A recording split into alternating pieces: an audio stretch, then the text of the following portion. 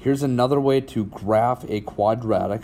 Instead of using the parent function and the vertex, you can do intercept form, or what I like to call sometimes is factored form. And I call it factored form because it is basically your polynomial factored. So you got your sets of parentheses where a is the same thing as before, a is greater than 0, it opens up, a is less than 0, it opens down. If the absolute value of a is bigger than 1, it's narrow. If the absolute value of a is less than 1 or bigger than 0, then it is wide. Okay, but now P and Q stand for the two or possibly the same x intercept.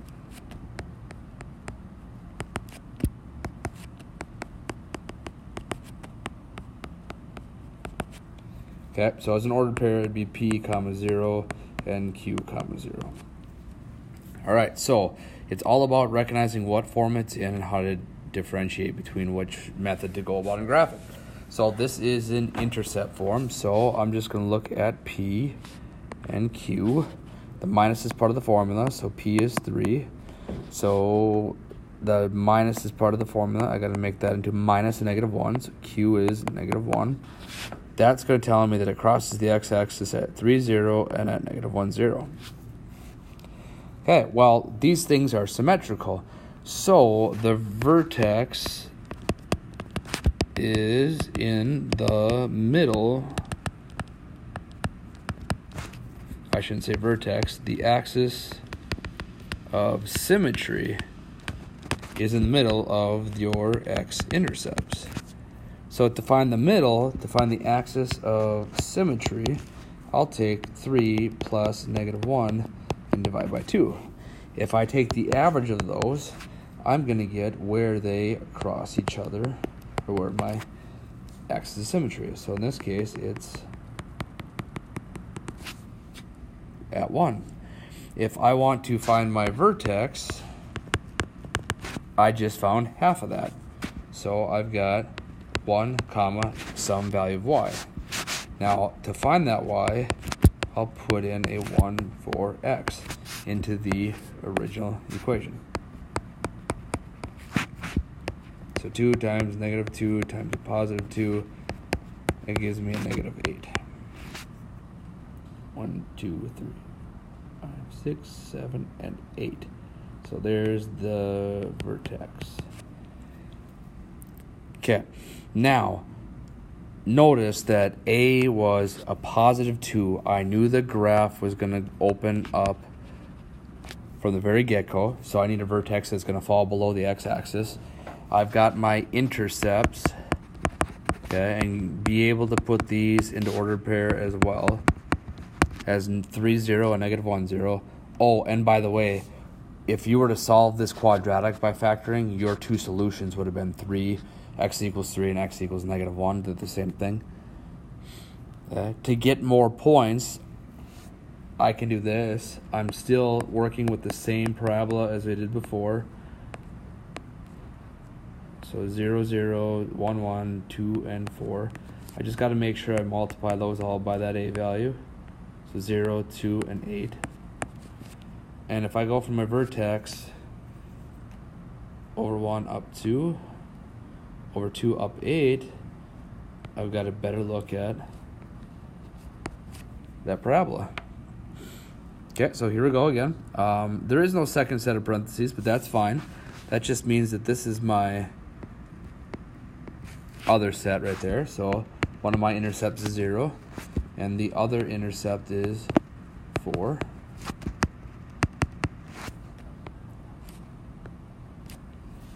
Okay, uh, that was a 2 right there. My A value is positive again. It's going to open up.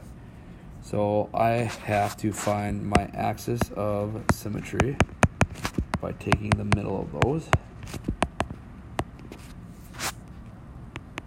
or you could count the blocks in the graph.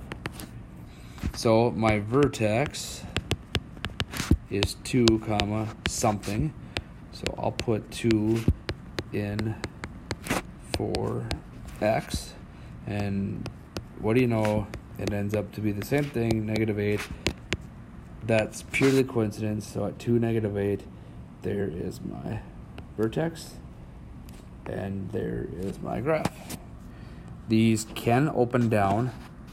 Um, in fact, I'll add another one. So y equals negative uh, 1 half um, x minus 1 uh, x plus, I don't know, let's go 5. So P and Q, P would be 1, Q is equal to negative 5. So there's one x-intercept, one, two, three, four, five. There would be a second x-intercept.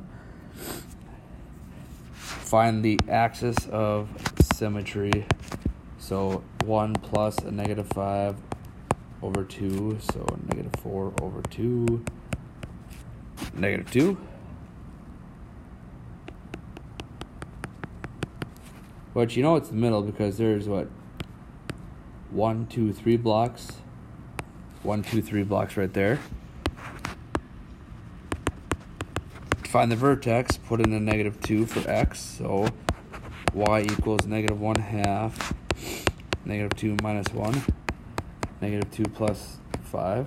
So negative 3, 3, and negative 1 half. Now, this is negative, so I know it's going to open down. So I know my vertex has got to be above the x-axis. So I take a negative times a negative. In fact, I'll do a negative 9 times negative 1 half. That's a positive 4.5. So at negative 2, I'd go up to 4.5. There's my vertex. There it opens down. And by the way, since it's one half, it's going to be wider than your typical graph.